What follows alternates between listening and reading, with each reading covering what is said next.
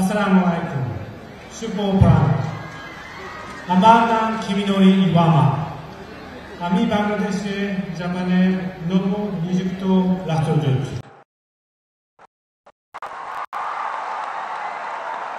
দশ দিন হলো আমি বাংলাদেশে এসেছি।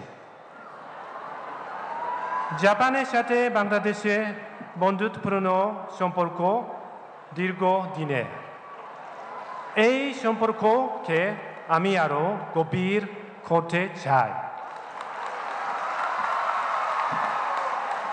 It is a great honor for me to be appointed as an ambassador in October and accredited to Bangladesh just two days ago to be able to attend the opening ceremony of the MRT Line 6 with the presence of our Honorable Prime Minister Sheikh Hasina.